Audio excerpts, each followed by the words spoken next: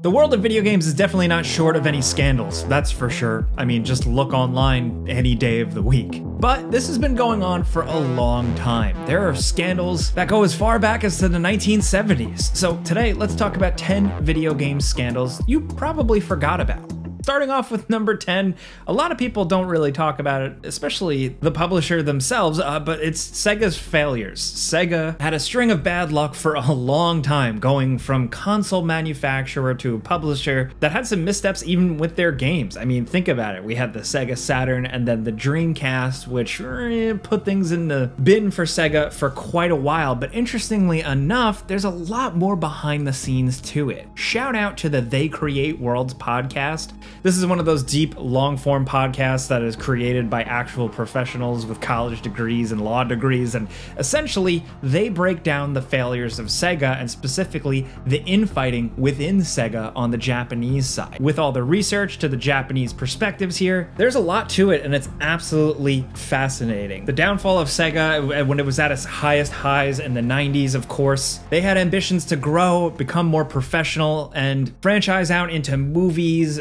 multimedia, theme parks, and really become their own version of Disney. Now, to grow in this crazy way, they would have to spend tons and tons of money, and apparently that led to a lot of disagreement internally uh, in terms of seeking out outside investors and a possible merger first with Bandai, which that fell through, and then top leadership dropped off, and then it continued for a long time with Sammy, primarily a pachinko manufacturer, and then eventually there was apparently plans to merge with Namco in the early 2000s, and then more people left, and there was no agreement there. And then by 2004, the Sammy merger finally went through, and then there you have Sega Sammy Holdings. There was apparently for many years a lot of drama leading up to the Sammy merger thing, with so many people internally not wanting to do it, but eventually they all gave in. Sega had a lot of oopsies in the late 90s, early 2000s. Thankfully, today, Sega's pretty cool. I mean, they're making games, they're doing their thing, they pretty much know their lane at this point. But there was a lot of stuff going on back in the day, and shout out to the They Create Worlds podcast for really breaking this down in a good way. We will link that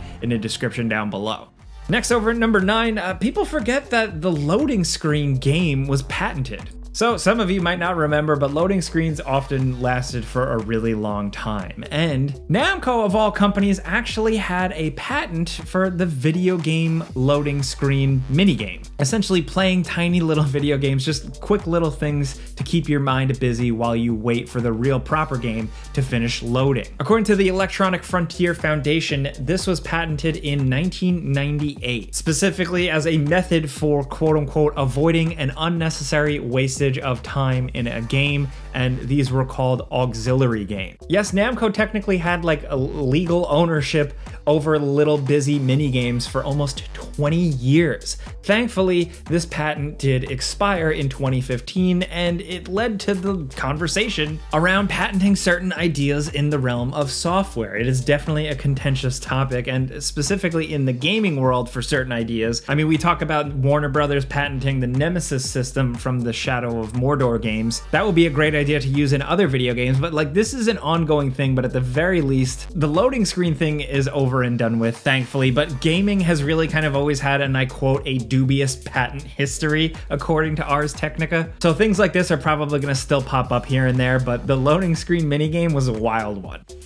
Next over at number 8, Driver 3 released and was an absolute mess. We've talked about Driver before a lot on, on this channel, I call it Driv3r because that's how it was spelled. There's a lot of nostalgia for that game for some of us, but the game wasn't actually that great. But believe it or not, it actually released in a horrifically buggy state. Shout out to the YouTuber Larry Bundy Jr. for doing some great videos breaking down a lot of this. There was a lot of drama behind Driver 3, with Atari wanting to get this thing out the door after burning so much money, millions and millions of dollars on it for years and years. When it came down to it needing about six more months of polish, they had to just get it out the door. And that resulted in an incredibly glitchy messy game that ultimately ended up failing. It needed to sell a couple of million units to break even, and it barely managed to squeak out like a million. And along with this, there's some internal issues with Atari, external issues with some video game magazines and how this was covered. Ultimately, just a big old mess for a series that we actually still really like and thankfully did go on to survive for a little while. A lot of it was Atari and the developer Reflections really scrambling to keep up after the success of Grand Theft Auto 3 and Vice City. They were in the middle of making Driver 3,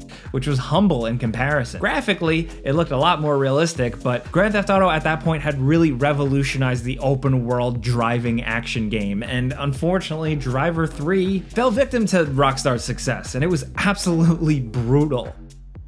Next, over at number seven, uh, the Kojima drama. Now, the hardcore gaming community and Metal Gear fans in particular definitely haven't forgotten about this one, but really it's all the details and the slow burn of this one that is just tucked away in video game history books. But this went on for a while. Hideo Kojima had like a 30 year partnership with Konami, and it all broke down over the course of Metal Gear Solid 5, Ground Zeroes, and Phantom Pain development. You probably know the big picture at this point. Hideo Kojima and Kojima Productions developed Metal Gear Solid games that were published by Konami, but things broke down and eventually Konami kicked him to the curb while also erasing his name from the box art of the Metal Gear Solid. Like it usually always says a Hideo Kojima game for Metal Gear Solid 5 Phantom Pain. And when that released, ugh, that was taken off and people were pissed. Leading up to that, Konami had done some corporate restructuring and the way things were shaking out, it sounded like Konami and Kojima were starting to break up, but they came out with a joint statement saying, hey, I'm Hideo Kojima, I'm still 100% committed to the Phantom Pain, blah, blah, blah, blah, blah, but didn't really say anything about when they were leaving. And sure enough, according to reports,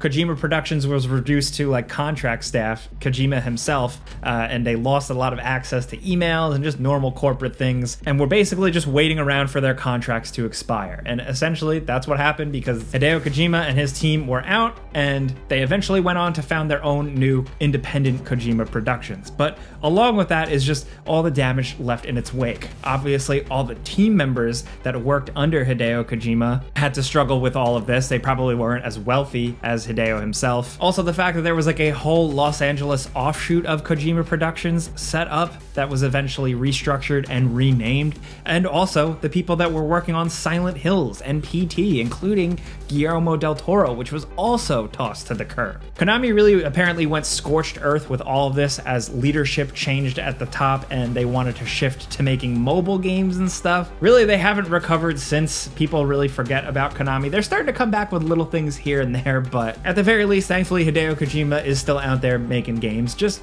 definitely not with Konami. Pretty much everybody but Konami at this point. Jumping over to number six with another massive historic video game breakup, it's Jason West and Vince Zampella, who you may forget were really the video game rock stars for a while as co-founders of Infinity Ward, absolutely crushing it with the original Call of Duty games, all the way up to the original Call of Duty Modern Warfare 2. Then, seemingly, a very sudden breakup with Activision. It resulted in years of lawsuits, back and forth, countersuits between the parties, with Activision saying that Jason West and Vince Zampella were hard to work with, and that there had been insubordination and breach of duties and all this stuff. And then on Vince Zampella and Jason West's side, they claim that Activision just didn't want to pay them anymore. Their salaries, their bonuses, because they were co-founders of the company, ballooned to so much that Activision was trying to skirt around that. There was a lot to it. We'll link a Kotaku article that breaks it down, but essentially, internally, it seemed like there was a lot of backstabbing and corporate bad guy stuff, but ultimately, I'd say it resulted in a net positive because Jason West and Vince Zampella went on to co-found and form Respawn Entertainment. Respawn, who is now responsible for stuff like Apex Legends, of course, the mega hit, uh, the awesome and underrated Titanfall 2, and now the big Star Wars Jedi games, arguably some of the better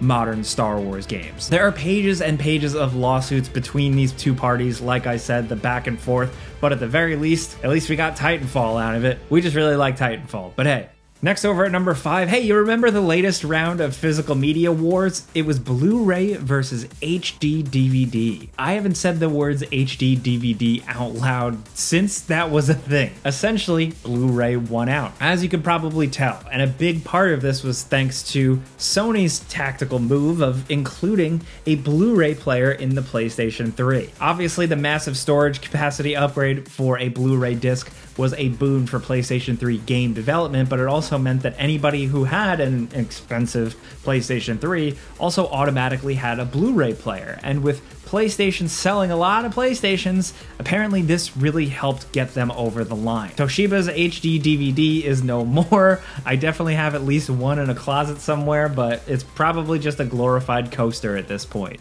Now over at number four, speaking of disk drives and Sony, Nintendo versus Sony. Yeah, in the early 90s, Nintendo wanted to do a sick collab. They joined up with Sony to create a Super Nintendo with a disk drive. Apparently, Nintendo very early on got paranoid that Sony was using this to kind of jump into video games, and that was apparently definitely the case because Nintendo was very quick to kick Sony to the curb pretty soon after revealing this thing. And with that partnership abruptly ended, Sony was absolutely pissed. Ken Kutaragi at the time, of course, did have plans to break into the video game world and hoping Nintendo would be the way to do it, but after this, out of spite, they created Sony Interactive Entertainment, and the rest is history. Nintendo, by being old fashioned, aggressive Nintendo, cutting Sony out of a proposed partnership very quickly, ended up creating one of their own worst enemies. Hey, the more competition, the better, but damn, Nintendo. You really cut your nose off to spite your face on that one.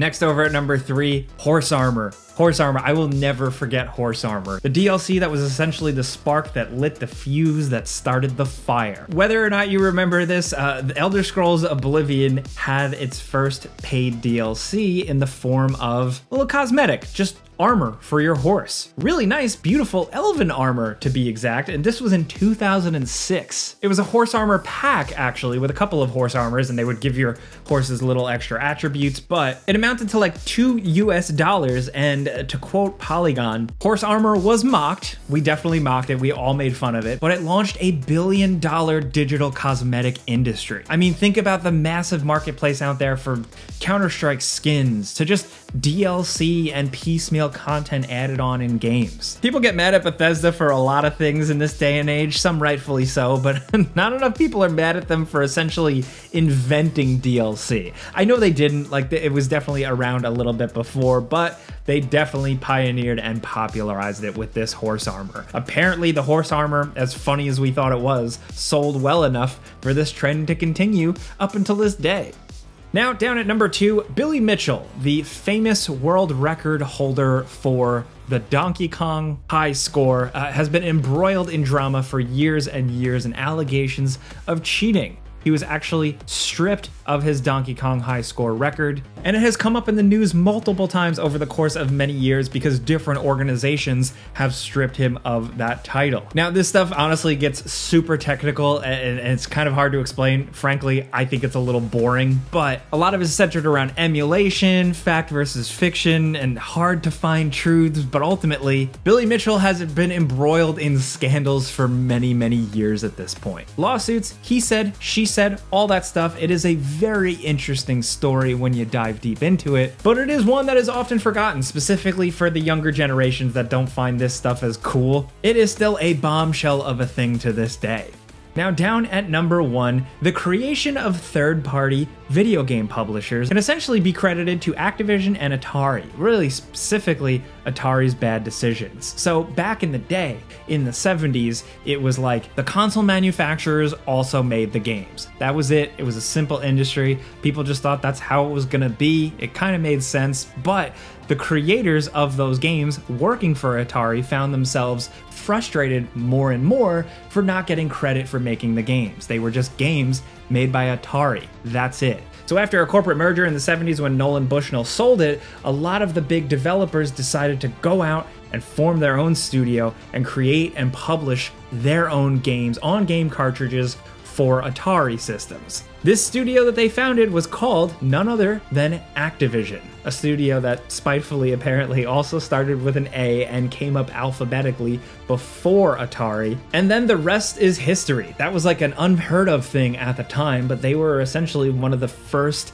third party video game publishers and developers. Now they've gone on today to be like one of the biggest. It's crazy how history works. This was a scandal that ultimately changed the video game industry forever. And really, these were 10 video game scandals that some people forget, but are absolutely fascinating. If you've got any more, we'd love to hear yours in the comments, but let us know what you think about any of this stuff. There's a lot more facts to them, so if you want to read up, of course, everything will be linked in the description down below. If you like this video though, and you like us talking video games every day with you, clicking the like button's all you gotta do. It really helps us out. But if you're new, consider subscribing, maybe hitting that notification bell, because we put out videos every single day. But as always, thanks for watching, and we'll see you guys next time.